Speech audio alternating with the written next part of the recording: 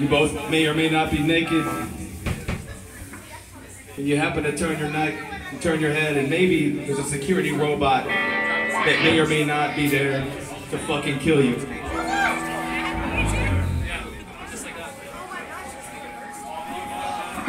It's just about me.